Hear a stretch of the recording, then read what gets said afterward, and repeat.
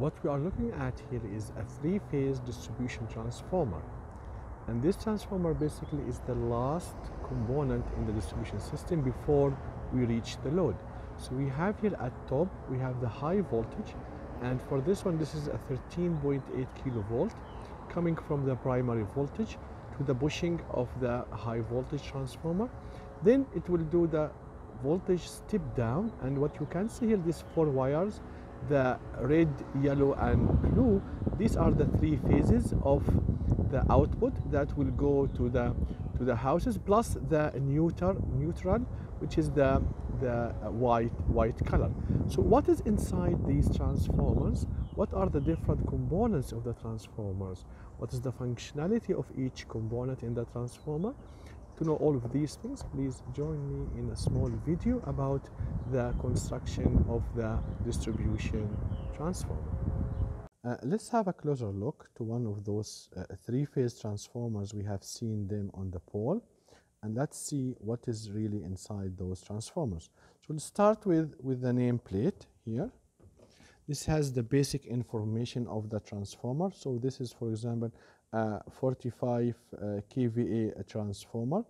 Uh, the high voltage is connected as Y and the line-to-line -line voltage is 27.6 kV and the low voltage side is uh, as you can see here it's uh, also connected as Y and it is 600 volt line to line also you have the single phase voltage uh, or the phase voltage for the high voltage is 16 kV and 347 volt for the for the low voltage uh, side and here is the connections of the windings as you can see here is Y connections and here is the what we call the tab changer. We have a look about the tab changer.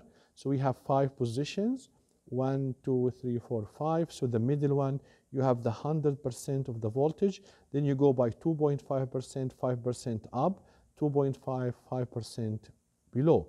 And this is very important for the voltage regulations. And here is the estimated amount of the oil is around 145 liter. So the nameplate has most of the information that you need about the transformer. The transformer we start from the from the bushings, okay, where you will have the high voltage. So these are the bushings here.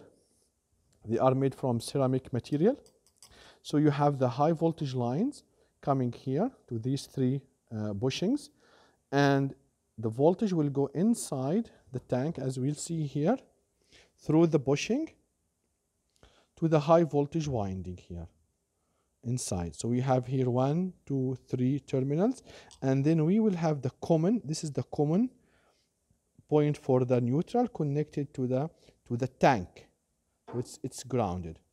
Then you have the transformer inside here. Uh, this is the core of the transformer.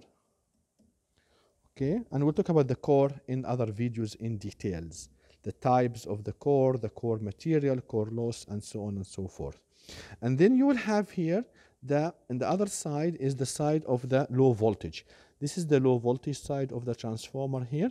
And if you go around here, the transformer, you see the, the low voltage bushings. And here you have one, two, three phase, the three phase, and the, the neutral point.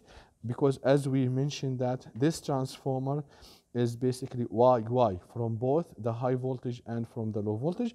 And here, as you can see here, also here on the transformer tank, we have the in main information about the power rating, 45 kVA, and the voltage ratio. We said about the tab changer. Here is the tab changer of the transformer. This is the tab changer. And here are the five positions that we have about the, the, the, the transformer. Here we have one, two, three, four, five. This is the tab change of the transformer. And the tab changer, when we change that from one tab to another tab, we have to do it when the transformer is not energized. So this is uh, offline tab changer. You cannot do any tab change while the transformer is online. Now what is inside? Where is the tab changer inside? Here is the tab changer of the transformer. Here is the tabs of the transformers different tabs connected here and when you select the switch you basically you are changing the number of the number of tabs now this transformer as you can see there is no oil uh, it's not filled with oil uh, this is will make it easy for us to access the different components of the of the transformer. Now it's very crowded here as you can see. So let's come with me with a small presentation to have a little bit of insight about what is inside the transformer, what is the core, how it looks like, and how's the winding, where we have the high voltage, where we have the low voltage, and some other questions about inside the transformer. So please come and join me in another small presentation about what is inside the transformer. Hi everyone and welcome to this small presentation that will try to uh, learn a little bit more about the different parts of the distribution transformer. So as you can see here, we can say that the tra distribution transformer has three main categories of components. The first one is the tank the outside tank filled with oil. Now, what is the purpose of this oil? It's basically for cooling and it is an electrical insulation. So it, it, it does two things, electrical insulation.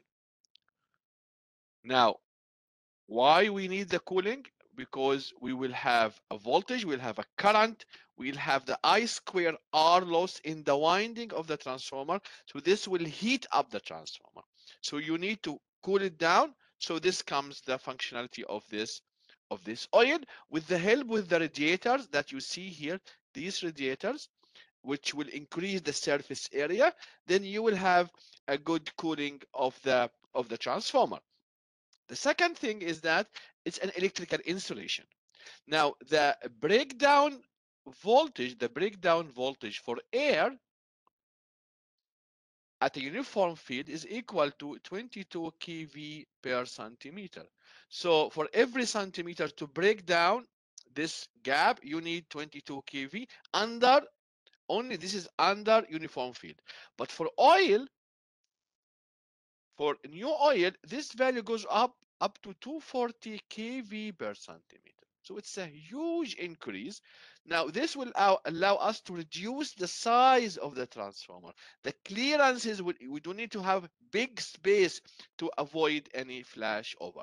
So that's for the tank and for the oil. Then we have something we call the active part, which is basically the winding and the core. And in the coming few slides, we'll talk about them in details. The last thing is the accessories we have standard accessories like the bushings, the high voltage bushing here and the low voltage bushings, and we have seen them in the previous uh, in the previous part of the video. Okay.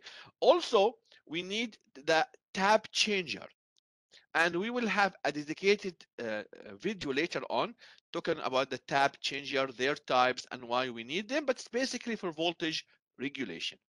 Then oil level indicator. For example, if you want to see the level of the oil inside the transformer, you need an indicators. Sometimes we have relays, like over pressure relay. If the pressure inside the transformer goes up, there is a relay will trip the, the circuit uh, breaker. So the most important part in the transformer is the active part, which is basically the winding and, and the core. So let's look to the core types. We have two different types of the core. One is called core type and shell type. And this is for a single phase transformer. Okay. So here, for example, this could be the uh, high voltage and this is the low voltage or vice versa. In the shell type, they are on top of each other. And I will come to this point later on. Now, a basic difference here between the core type and the shell type of the transformer, of course, this is the core and this is the core. It's very obvious is that in the core type, the winding surrounding the core. In the in the shell type, the core is surrounding the winding. And this will lead to an advantage and disadvantage for each one. So for the advantage of the shell type over the core type, that the shell type has a better mechanical protection because the core is surrounding the winding. So it gives it, it gives the the winding good mechanical support. And this is needed, especially when there is a short circuit inside the winding. Uh, the mechanical support will be needed at that at that stage. But the core type has a better cooling, okay? Because the winding is the one that needs the cooling and it's exposed to the oil more more part of the transformer is exposed to oil. Here, the winding is inside the core, so we don't have a good a good cooling inside the transformer. So we have the shell type, we have the core type. The video for the uh, transformer that we have seen in in in the, the previous one, it was a shell type. Was not a core a core type. The core type is look like this. This is a three-phase core type transformer. So here we have we have phase A, phase B, and phase C. And here, here we can see different things inside inside the active part. This is the core. This is the, your core here. This is the core. Now this is a core type transformer because the winding is surrounding the core. We have three legs because we have a three three phase. Uh, these are the tabs for the tab changer. These are the tabs of the tab the tab changer. And the holes you see them here they are ducts. This is for the cooling so that the oil can go inside you can see them here as well here. So the oil can go inside the winding and circulate for better for better cooling. And the most important thing here for the transformer that will decide its life is the insulation paper so here in the active part we have copper we have silicon steel for the core and we have the paper cellulose paper.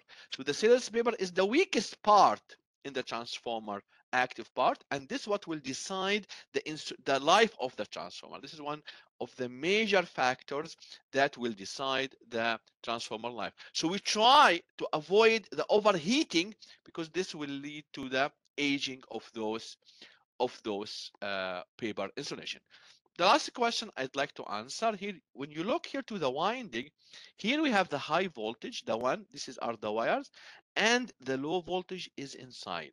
So the high voltage is on top of the low voltage, and between them there is some insulation here with cooling to insulate the high voltage from, from the low voltage.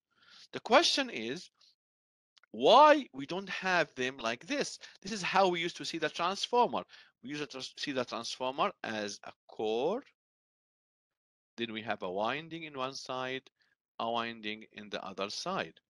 So the primary and the secondary are separated. So why we have them on top of each other? So to explain this, let me elaborate more on this schematic. So this is my core for a single phase, and that will give you the idea for the three phase. So when, let's say this is the primary, and this is the secondary, okay? So basically you energize the transformer from one side. So here is the high voltage. You energize it from here. Then using the hand handwrite rule, you will have a flux.